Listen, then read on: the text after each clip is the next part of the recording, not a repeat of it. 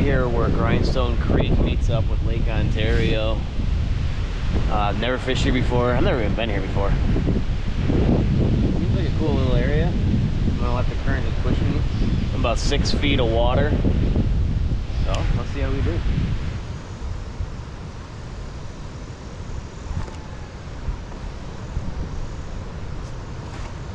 Oh yeah.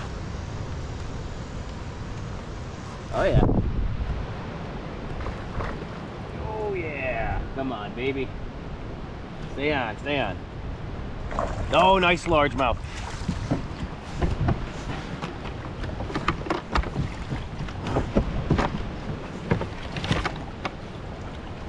Oh, come on. Yeah! Oh, that is a good largemouth right there. Holy Did you see that, baby? Grindstone Creek's got the largemouth, apparently. Holy cow, that is a nice, nice largemouth there, baby. Whoo!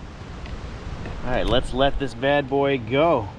Thank you for letting me catch you, bud. And he's gone. Whew! First fish! Wacky rig from the old yak. He was a good sizer.